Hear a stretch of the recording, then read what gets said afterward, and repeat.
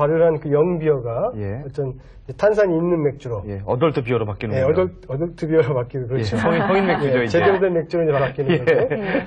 그런 탄산이 있고 맛이 예. 숙성되고 예. 예, 정화된 정화된 맛으로 이제 예. 바뀌는 맥주가 됩니다. 2, 3주 있으면. 2, 3주 예. 있으면. 최장 한 최장 이제 물론 맥주에 기간. 따라서 예, 이제 호프 아로마 있는 맥주니 아니면 또, 또 어떤 특별한 맥주 같은 경우는 심지어 6개월까지 숙성하는 경우가 있어요. 아. 과일 맥주도 마찬가지고. 예.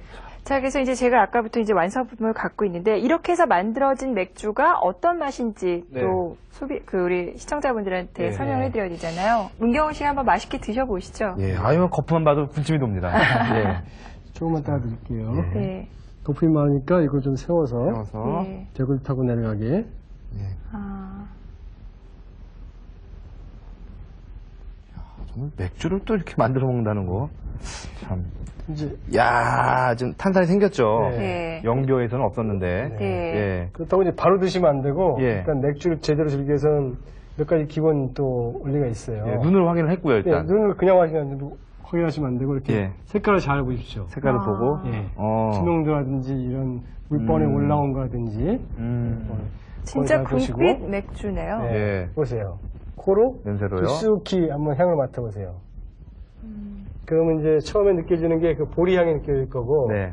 그 다음에 이제 호프 향까지 음. 느껴질 거고, 그다음 여기는 첨가물이 안 들어갔으니까 이제 그 다음 향을 얻겠지만, 어떤 무슨 뭐 오렌지 향을 넣었든지 그런 그런 예. 또 제3의 아. 향이 느껴집니다. 제가 지금 세 번 맡았는데요. 네. 한번 맡을 때랑 세 번째 맡을 때랑 또 틀려요. 아, 그래요? 예. 예. 음. 네, 마지막으로 이제 한번 드셔보시겠습니다. 예. 자, 이제 드디어. 예.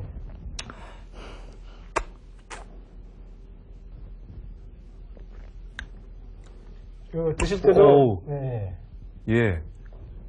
드실 때도 이게 아, 저한컵다 마실 것 같아. 걱정인데. 다 틀리네요. 처음에 처음에 입에 닿는 첫 맛이 틀리고 예. 입안에서 퍼지는 향- 맛이 틀리고 네. 또 목구멍으로 넘어가는 마지막 그 body가 배우는데 그럼 예.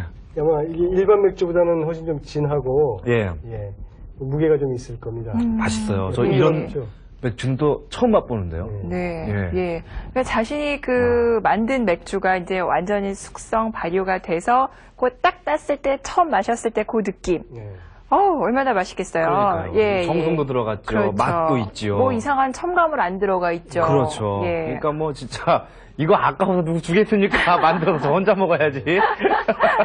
자, 그래서 이제 저희가 처음으로 저희가 직접 만들어 본 맥주가 아, Bewitched Red Ale 맥주였습니다. 만드는 과정 화면으로 다시 한번 복습해 보시죠. Bewitched Red Ale을 만들 땐 먼저 깨끗이 소독을 마친 발효통에 찬물 4리터를 채웁니다. 그리고 준비한 약 2리터의 찬물에 부스터를 넣은 후 잘 저어 녹이는데요. 부스터가 완전히 녹은 후엔 물을 끓이고 어느 정도 끓은 후엔 반드시 불을 끕니다. 그 사이 녹기 쉽도록 뜨거운 물 속에 넣어두었던 Bewitched Red Ale 원액 캔의 내용물을 부스터 녹인 물에 붓고 녹을 때까지 잘 저어줍니다. 이 상태를 wort라고 하는데요. 이 wort를 발효통에 부은 후 찬물을 8.5리터까지 채워줍니다. 그리고 효모를 뿌리는데요. 뿌린 후 5분 정도 가라앉게 두었다가 산소가 물에 충분히 공급돼 효모 증식이 잘 될 수 있도록 여러 번 세차게 저어줍니다. 이후 발효통 뚜껑을 완전히 잠근 후 실온에서 일주일 동안 발효시킵니다. 이렇게 발효시킨 맥주는 깨끗이 소독한 페트병에 다시 옮겨 담은 후 흰 설탕을 1리터당 약 3티스푼 정도 넣어줍니다. 설탕이 잘 녹을 수 있게 병을 몇 차례 흔들어준 후 상온에서 숙성시키면 Bewitched Red Ale이 됩니다.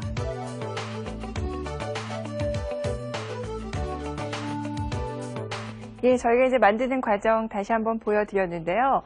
음, 그 재료에다가 뭐 숙성 기간 이런 것만 잘 배합을 하셔서 하시면은 정말 멋진 맛있는 맥주가 탄생을 할 것 같습니다. 문경호 씨가 예. 지금 뭐 질문이 있으시다고요? 예, 제가 맥주에 관심이 있어서 어제 저녁에 이제 그 컴퓨터 들어가서 인터넷을 좀 봤거든요. 동호회 그 사이트에 들어봤는데 네. 어떤 분이 그 게시판에 잘 만들었는데 네. 맥주 맛이 안 나고 사이다 맛이 난다 이런 글들이 간간히 보여요. 아, 예, 그런 경우는 어떤 경우입니까?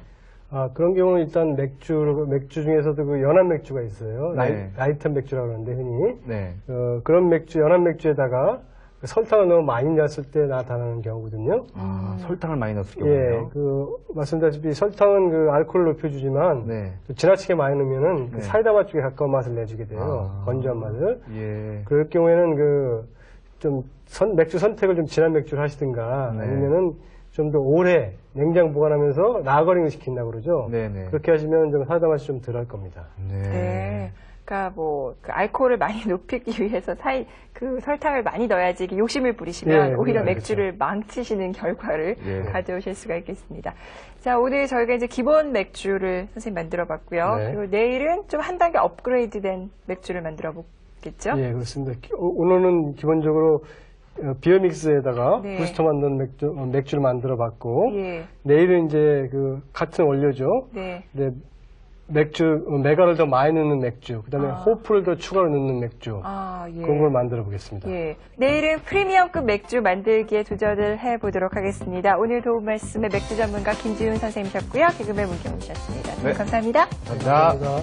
내일 아침 11시에 다시 찾아뵙겠습니다. 고맙습니다. 민백주의 특징은 강하지 않지 않습니까? 네. 그렇기 때문에 이런 호프, 호프랑 잘 어울립니다. 호프가 잘 뜨지 않죠? 그렇습니다. 네, 이런 여기는 호프가 좀 적은 부분입니다.